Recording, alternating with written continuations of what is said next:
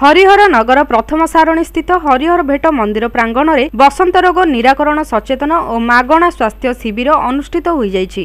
ଭାରଦ୍ୱାଜ ପ୍ରତିଷ୍ଠାନର ଅଧ୍ୟକ୍ଷ ଡାକ୍ତର ନକୁଳ ସାହୁ ଉପସ୍ଥିତ ରହି ଶୀତଦିନ ପରେ ବସନ୍ତ ଋତୁରେ ଶିଶୁ ଓ ଦୁର୍ବଳ ବ୍ୟକ୍ତିଙ୍କୁ ବସନ୍ତ ହେବା ସମ୍ଭାବନା ରହିଛି ଏବଂ ଖୋଲା ଦେହ କରି ଖୋଲା ପବନରେ ରୁହନ୍ତୁ ନାହିଁ।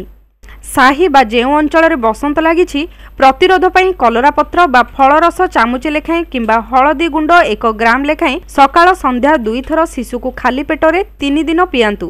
ଶକ୍ତିବର୍ଦ୍ଧକ ଖାଦ୍ୟ ଖାଆନ୍ତୁ ଓ ଶରୀର ବସ୍ତ୍ର ସଫା ରଖିବା ପାଇଁ ପରାମର୍ଶ ଦେଇଥିଲେ। ଏହି ଅବସରରେ ରୋଗୀଙ୍କ ରକ୍ତଚାପ ରକ୍ତ ଶର୍କରା ଗଣ୍ଠିବାତ ସ୍ନାୟୁ ରୋଗ ଅମ୍ଳପିତ୍ତ ସ୍ତ୍ରୀ ରୋଗ ଆଦି ବିଭିନ୍ନ ରୋଗର ପରୀକ୍ଷା କରି ଚିକିତ୍ସା ପରାମର୍ଶ ଓ ଔଷଧ ବିତରଣ କରାଯାଇଥିଲା। ଶିବିରର ପରିଚାଳନାରେ ସହଯୋଗ ଦେଇଥିଲେ ଡକ୍ଟର ଶ୍ରୀନିବାସ ରାଓ ଗଣେଶ ପ୍ରସାଦ ପରିଛା ଓ ମନ୍ଦିର କମିଟି ସଭ୍ୟ ସଭ୍ୟା।